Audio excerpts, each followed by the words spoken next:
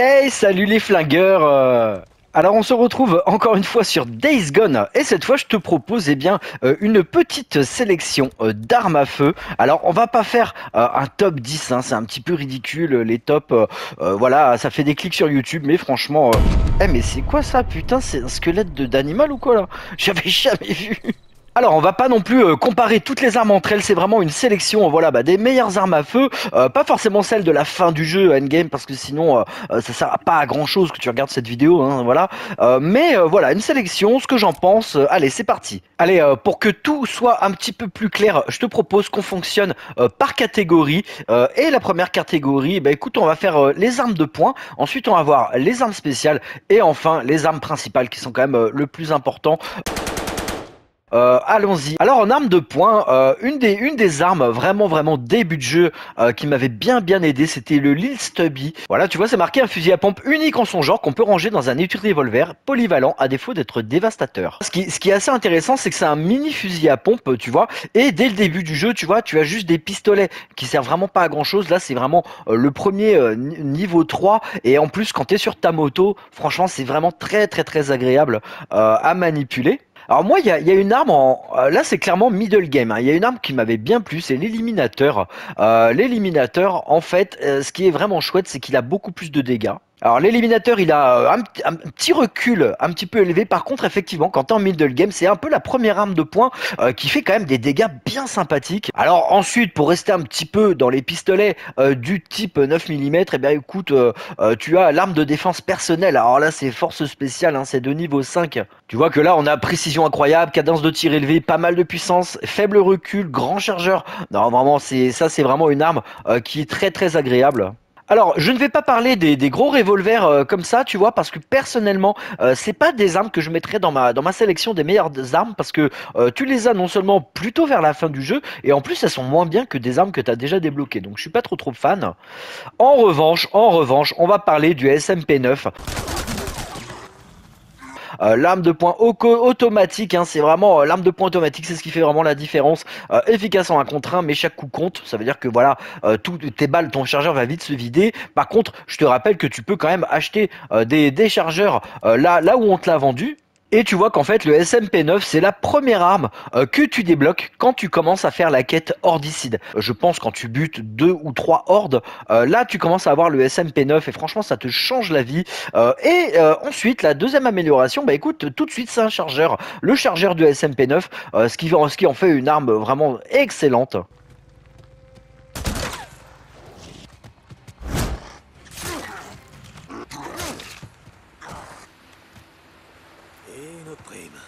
Là, je te parle euh, du SMP9 de conditions militaires, parce qu'il y a un autre SMP9 euh, qu'on te donne au camp de Hot Spring qui est franchement moins bon, euh, donc il vaut mieux tout de suite aller vers celle-ci. Tu vois que la cadence de tir, elle est juste au maximum. Hein. Donc voilà, tu as intérêt à avoir le chargeur. franchement, c'est essentiel. Hein. C'est ce qui rend cette arme vraiment unique. Et moi, maintenant, bon, bah, j'utilise quasiment que celle-là en arme de poing. C'est vraiment la best. Allez, on va passer aux armes spéciales. Et comment ne pas parler de l'arbalète en arme spéciale parce que l'arbalète est quand même assez sous-estimée. Alors, on pourrait parler de l'arbalète de Drifter euh, ou de l'arbalète, parce que franchement, il n'y a pas une énorme différence, tu vois, c'est juste au niveau des dégâts et au niveau de la précision. Donc écoute, on va prendre l'exemple euh, de l'arbalète de Drifter, qui est juste, une version améliorée de l'arbalète standard, mais ce qui fait la grande force de l'arbalète, en fait, ce sont les munitions. Alors, les munitions, bah écoute, c'est comme ça, tu vois, que tu, que tu vas dépenser tes, euh, tes bois de cèdre, tu as fait un petit peu de ferraille pour faire des carreaux, donc là, tu vois, j'en ai fabriqué 5, donc en fait, ça vaut pas mal le coup parce que finalement, quand, quand tu veux pas dépenser d'argent dans des munitions, euh, bah écoute, tout ton bois de cèdre que tu ramasses et un petit peu de ferraille, euh, franchement, ça te fait directement, tu vois, un bois de cèdre, une, une ferraille, ça te fait 5 euh, carreaux. Donc c'est quand même exceptionnel. Ensuite, il y a les carreaux à résidus qui sont quand même une arme unique. Hein. Donc là, en fait, tu auras besoin des résidus que tu trouves dans les nids. et ça, ça permet dans les camps d'humains de retourner les humains contre les autres. Et franchement, en tout cas, en début du jeu, début du jeu, c'est vraiment exceptionnel. tu vois les humains se défoncer les uns les autres et après, tu peux finir le camp. franchement, même pour le fun, j'utilise encore de temps en temps. C'est vraiment sympa. Alors, quand tu avances dans l'histoire du jeu, euh, c'est là où tu vas débloquer des carreaux euh, spéciaux. En fait, il faut, il faut aller euh, justement les camps en fait ennemis. Et, il faut aller trouver le bunker. Et là, en fait, tu vas découvrir des plans de d'armes, hein, des plans de, de, choses à fabriquer. donc là, par exemple, tu vois, il y a le carreau incendiaire. donc l'avantage, je te l'ai déjà dit dans une précédente vidéo, mais je vais le redire. L'avantage du carreau incendiaire, c'est que tu vois, tu vas utiliser un bois de cèdre, un chiffon, un kérosène, une ferraille, et ça va te faire trois carreaux incendiaires. Alors que pour faire un cocktail Molotov, tu as besoin de un kérosène en entier. Euh, donc tu vois que en ce qui concerne les nids, euh, il vaut mieux balancer des carreaux incendiaires sur les nids. En plus, tu es à distance euh, et en plus, ça t'économise du kérosène. Donc franchement, tu vois, c'est là où tu comprends que l'arbalète, elle est vraiment pas sous-estimée. Ensuite, il y a le carreau empoisonné, donc qui va, qui va buter beaucoup, beaucoup de créatures, des humains, mais pas que des humains, de, de, manière très très efficace. Ça, tu le débloques avec une mission plutôt vers la fin du jeu, donc ce qui signifie qu'Arbalète n'est pas à sous-estimer. le carreau empoisonné, tu vois, tu as besoin de poisons que tu ne trouves que une fois que tu as fait une mission à la fin du jeu sans spoiler. Et bah écoute, ça, ça one-shot juste les gens, hein, c'est franchement exceptionnel. et les créatures. Hein. Et enfin, on va parler du carreau explosif. Euh, bon, alors, c'est plus un gadget qu'autre chose. Euh, très franchement, euh, c'est marrant, c'est marrant d'utiliser. Disons que si euh, tu joues arbalète, euh, oui, c'est utile d'avoir les carreaux explosifs parce que euh, contre des groupes d'ennemis, voilà, c'est quand même pas mal. Mais bon, ça prend quand même de la poudre à canon, de la ferraille, câble d'allumage. C'est quand même des ressources dont tu as besoin en endgame pour affronter des hordes, pour faire des pièges, etc. Tu vois, pour faire des bombes de proximité, pour faire des bombes télécommandées et surtout pour faire des attracteurs, tu vois, tu as, besoin de, de, certaines pièces. Et franchement, tu vas pas forcément dépenser de la poudre à canon, tu vois, dans des carreaux explosifs. Mais bon, une fois que tu as l'arbalète sur toi et que tu veux, euh, tu veux kiffer, en tout cas si tu es en middle game, euh, c'est vraiment vraiment génial. Si tu es en endgame, ouais, ça vaut pas trop trop le coup.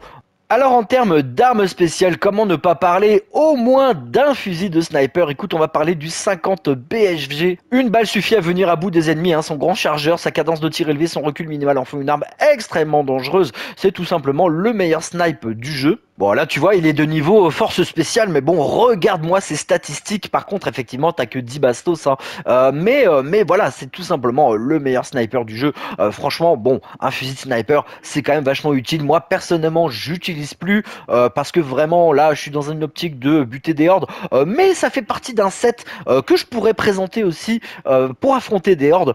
Il y a toute une stratégie où on peut utiliser les snipers pour affronter des hordes. Bon personnellement c'est pas forcément le, set que j'utilise mais en tout voilà, c'est tout simplement le meilleur sniper. Tu vois la différence avec celui-là, qui est simplement deux conditions militaires. Euh, au niveau des dégâts de puissance d'arrêt, euh, bim, hein. voilà, on est presque au maximum du maximum de tout ce qu'il peut faire, euh, à, part la cadence de tir normale, puisque c'est un sniper. Bah écoute, voilà, hein, c'est juste une très très bonne arme. Hein. Ensuite, on va parler du RPD de fabrication russe. Cette arme a une grande puissance assez utile contre une horde. Oui, effectivement, euh, quand tu affrontes tes premières hordes, euh, le RPD ou tes premiers groupes d'ennemis, le RPD, euh, c'est c'est vraiment le gros fusil mitrailleur très basique, mais alors qui fait bien bien le taf, tout simplement parce que regarde, il a un chargeur de 105 bastos. C'est quand même génial, il fait pas forcément beaucoup de dégâts, mais alors regarde la cadence de tir, elle est quasiment maximum et la précision n'est pas si mauvaise pour ce genre d'arme, parce que je te rappelle que ça, c'est des armes mitrailleuses qui ont beaucoup de dispersion, et là, la précision est quand même très correcte. Donc le, le RPD m'a énormément servi pendant tout le middle game, mais bien sûr hein, vers, euh, vers la fin du jeu, hein, euh, comment ne pas parler du MG55 qui est tout simplement une version améliorée, hein, c'est tout simplement le gros fusil mitrailleur, une version améliorée du RPD,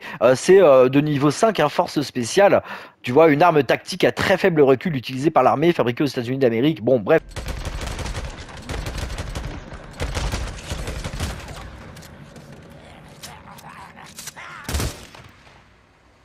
Et le MG55, eh bien c'est pareil, hein, c'est une arme que tu ne peux obtenir que euh, quand tu commences à compléter euh, la, la, quête hordicide. Euh, donc c'est à peu près la moitié, je dirais que je crois qu'entre 40 et 50% de la quête, tu vois que là je suis à 75%. Je pense que tu la débloques, tu vois, MG55, tu la débloques assez tardivement, hein, je dirais 50-60% de la quête, parce que là tu vois, à 85% de la quête, j'aurai le chargeur justement pour le MG55, parce que le défaut c'est qu'il a un chargeur seulement de 60 75 bastos. Mais bon, comme il fait plus de dégâts que le RPD et que tu as vu cadence de tir, on est au maximum, précision, voilà, on est très très haut, euh, t'as pas forcément besoin de 75 bastos. en tout cas, pour des groupes normaux. Mais si tu veux affronter les hordes, c'est toujours mieux d'avoir beaucoup plus de bastos. Donc là, c'est clair euh, que moi, là, je vais continuer hordicide euh, pour vite débloquer euh, le chargeur bonus. Hein. ça, c'est évident. Hein.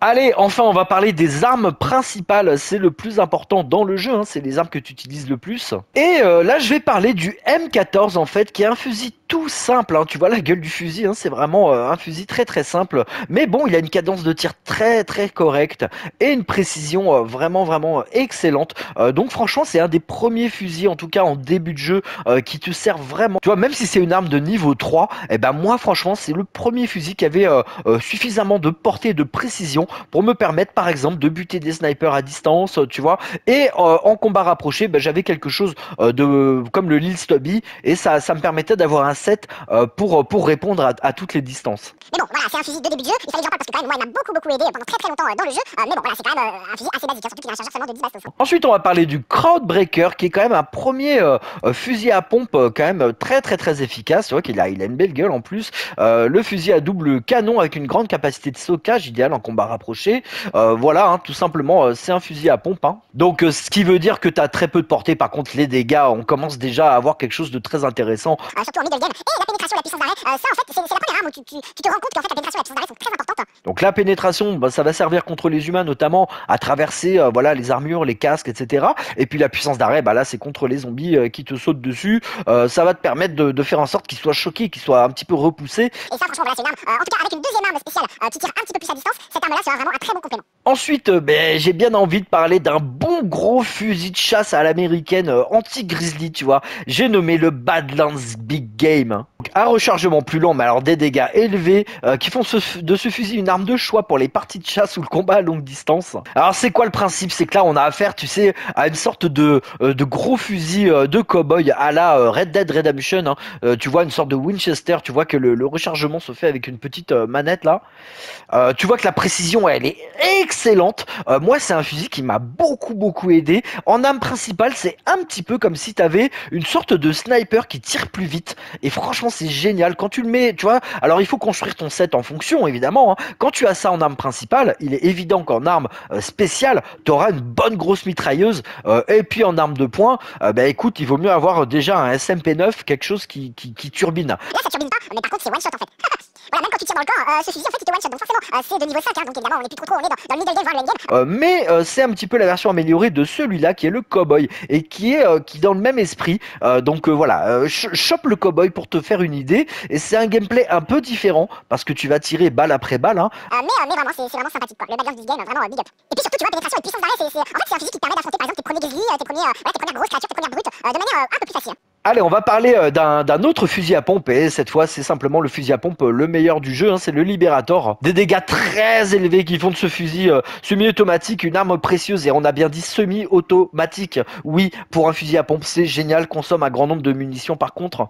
Donc là, tu vois qu'au niveau des dégâts, bah, écoute, on est quasiment au maximum. Et par contre, euh, pour un fusil à pompe, regarde la cadence de tir. En fait, c'est un, c'est un fusil. Là, là, c'est un petit peu la, la soupe au pruneau, quoi. Tu vois, t'as une grosse puissance d'arrêt, grosse cadence de tir et gros dégâts. Par contre, on est sur une portée évidemment beaucoup plus proche.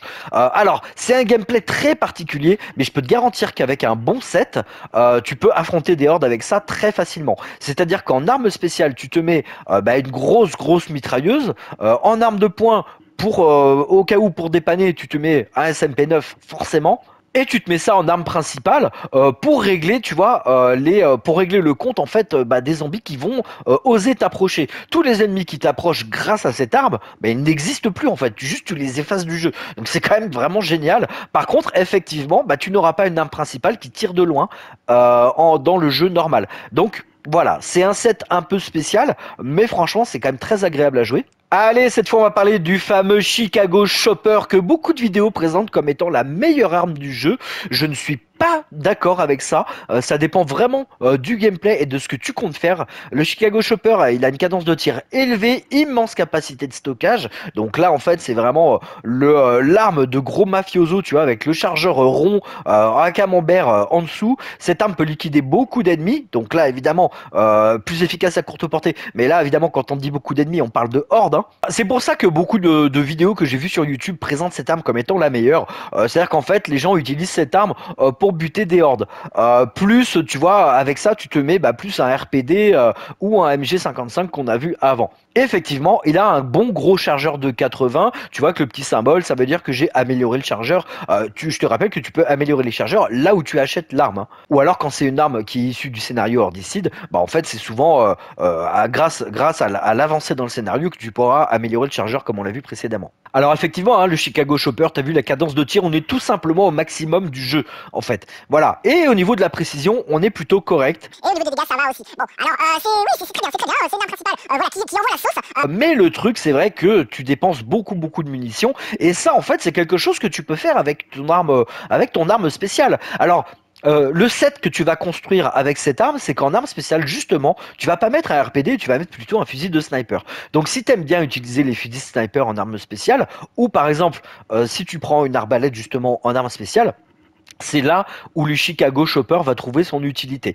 Euh, et effectivement, euh, c'est une arme qui, qui est très très bien. Mais personnellement, je suis pas convaincu que ce soit forcément la meilleure du jeu, c'est une très très bonne arme, c'est une des meilleures du jeu, mais ça dépend un petit peu de, de ton gameplay, du gameplay que décidé de, de jouer. parce que tu vois, ici, il y a ce qu'on appelle le IDF Pop. Et le IDF Pop, bah écoute, c'est comme, c'est un petit peu comme le Chicago Chopper, mais tu vois qu'il y a plus de précision. Il y a un tout petit peu moins de cadence de tir, de portée et de dégâts, mais quand tu vois la ligne rouge qui sépare les deux armes, c'est quand même ridicule. Alors la différence, c'est que là, on a un chargeur de 65, c'est ça qui fait euh, la grosse différence. En revanche, tu vois que là, on est euh, d'un niveau 5, un force spéciale. Alors que là, chez Chicago Chopper, on est que d'un niveau 4. Euh, alors pourquoi? Bah écoute, c'est très simple, hein, c'est que le IDF Pop, bah tu le débloques ici, hein, dans, toujours pareil, dans la, dans la quête Hordicide, hein, tu vois qu'il est là. hein. et tu vois que tu peux améliorer le chargeur hein, de l'IDF Pop grâce tout pareil à cette, à cette quête. hein. Alors c'est vrai, c'est vrai, le Chicago Chopper a plus de bastos, euh, mais de toute façon, euh, moi les vidéos que j'ai vues, ce qui est assez drôle, c'est qu'en fait les mecs ils ont un set avec le Chicago Chopper et une grosse mitrailleuse, tu vois, et un SMP9. Donc en fait ils ont que des armes qui envoient des, pruneaux. Euh, donc de toute façon, euh, le chargeur de 65 euh, de l'IDF Pop, comme l'arme est plus précise, personnellement je ne l'utiliserai pas à fond, parce que si à côté j'ai un set similaire avec déjà une grosse mitrailleuse en arme spéciale plus en arme de poing la SMP9, j'ai pas forcément besoin euh, de 80 bastos, tu vois. Euh, là, l'avantage c'est que euh, elle est plus précise, donc je peux m'en servir comme une vraie arme principale et non pas juste comme une arme, comme une mitrailleuse de secours euh, pour euh, battre des hordes que de toute façon tu vas battre euh, avec d'autres types d'armes, type arme incendiaire ou grosse mitrailleuse. Donc c'est pour ça que je trouve que pour moi c'est pareil. Pour moi, Chicago Chopper et EDF Pub, ça se vaut, c'est à peu près pareil, sauf que l'IDF Pub je trouve plus polyvalent. Parce que euh, bah, comme ça, tu vas pouvoir, comme je te dis, t'en servir comme arme principale dans toutes tes missions et non pas juste contre des hordes. Tu vois, la précision, je trouve que là, là le gain en précision fait quand même une, bonne différence et t'as pas besoin d'autant de, de, de, de balles en fait si t'affrontes pas une horde. Donc euh, c'est pas pas forcément la peine. Mais pour moi, euh, je vais dire vraiment la meilleure arme du jeu. Et oui, ça va peut-être être étonnant, en tout cas dans cette catégorie d'armes principales. Pour moi, ça va être le Rock Chuck. Pourquoi? Parce qu'en fait, alors c'est une c'est une arme de, de, niveau 5 hein, de force spéciale. Euh, elle est équipée tout simplement d'un silencieux intégré. Et ça, en fait, dans le endgame, c'est génial. Quand tu es dans une zone euh, vraiment euh, où tu as des ennemis tout autour de nuit, etc., grâce à cette arme, tu peux aller farmer tout ce que tu veux. T'as plus besoin de dormir pour attendre le jour. Euh, tu peux, euh, tu peux, voilà, tu peux tirer. Regarde la cadence de tir, elle est juste au maximum et la précision, elle est très, très, c'est très, très polyvalent. Ça te sert partout. Euh, en arme principale, c'est génial. Tu peux même garder cette arme quand une tu prends cette arme en arme principale, euh, simplement pour te rendre et chercher là où il y a la horde, tu euh, euh, en endgame, il y a beaucoup beaucoup d'ennemis qui te cherchent des emmerdes, euh, surtout quand tu es en train de chercher une horde. Donc quand tu équipes cette arme, en fait, euh, la horde ne va pas te poursuivre, ne va pas être alertée, les ennemis vont pas être alertés puisqu'elle a un silencieux intégré. Donc en fait, toutes les balles seront avec silencieux. Donc ça, ça vaut bien un chargeur un petit peu plus petit de 35 balles. Hein, franchement, euh, C'est quoi ça Y'a quelqu'un pris au piège Au secours Donc tu l'équipes avec un set où derrière tu as une énorme mitrailleuse qui suffira largement à faire le taf contre une horde. Et puis ma foi, franchement, t'as, un très... moi c'est le set que j'utilise de toute façon maintenant tout le temps parce que voilà, j'ai la flemme de changer pour un truc qui a plus de balles. euh, voilà, Euh, celle-là, franchement, le Rock Chuck avec le silencieux intégré, personnellement j'adore. Bon et ben voilà, c'était une petite sélection euh, des armes à feu que je préfère dans le jeu. Voilà, si t'as aimé la vidéo, n'hésite pas à liker et à t'abonner. Quant à moi, je te dis à bientôt sur Death Gone ou un autre jeu. Salut, salut